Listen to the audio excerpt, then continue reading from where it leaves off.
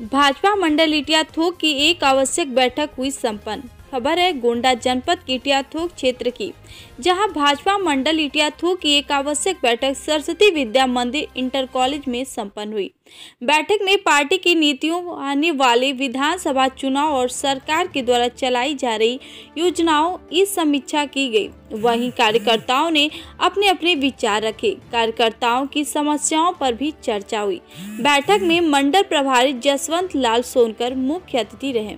कार्यक्रम की अध्यक्षता मंडल अध्यक्ष सत्यव्रत ओझा ने किया। इस अवसर पर पूर्व मंडल अध्यक्ष पीडी मिश्र, राकेश चतुर्वेदी, रामानंद तिवारी जी, मंजूर अहमद, पवन सिंह, राजेंद्र तिवारी, कक्कू सिंह, कपिलेश्वर शुक्ला, अजय राठौर, बबलू तिवारी, अश्वनी मिश्रा, राहुल ओझा किशोरी लाल वर्मा, सुरेश वर्मा, मनीष शुक्ला, अरुण गौतम, अरविंद पांडे, पवन दुबे, सोनू पांडे, शिवानंद पांडे, संतोष चौरसिया सहित अनेक सेक्टर आयोजक प्रभारी बूथ अध्यक्ष उपस्थित रहे। दिकेटिया थोक से पवन कुमार, द्विवेदी की रिपोर्ट।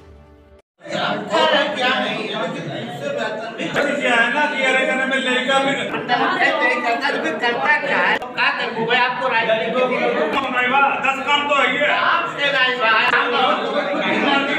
किसान सम्मान निधि आवा तो आपका ना मिले तो ये तो हाँ क्या नाम है श्रीमान जी आपका? और कौन सा पद है? कौन सी बैठक यहाँ आयोजित की जा रही थी अभी मेरा नाम जसवंत लाल सोनकर है। मैं ज़िले का उपाध्यक्ष हूँ और इस पीटिया थोक मंडल का मंडल प्रभारी हूँ। आज की बैठक मंडल की पूरी समिति को बुलाया गया था। पंचायत चुनाव के बाद ये पहली बैठक है। इसी के लिए भी हम लोग आए कि सारे कार्यकर्ता इकट्ठा हों।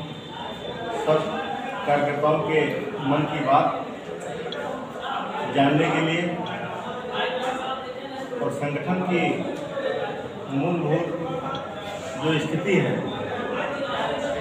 उसको बखूबी जानकारी के लिए सभी कार्यकर्ताओं को बुलाया गया है। इसी निमित्त आज ये जैसे कुछ कार्यकर्ता भी कह रहे थे, कुछ कार्यकर्ताओं में असंतोष है तो उसके बारे में आपके क्या कहना है? कार्यकर्ताओं में ये तो नहीं कहा जा सकता सारे कार्यकर्ता संतुष्ट हैं लेकिन कहीं ना कहीं कमी रही होगी किसी के अंदर। आने वाले 2022 के चुनाव में संगठन क्या तैयारी कर रहा है? आने वाले 2022 के चुनाव में संगठन हमारा पूर्ण रूप से चुनौती के लिए तैयार है और आगामी 2022 का जो चुनाव विधानसभा का होने वाला है इसमें भारतीय जनता पार्टी की बहुमत की सरकार बनेगी।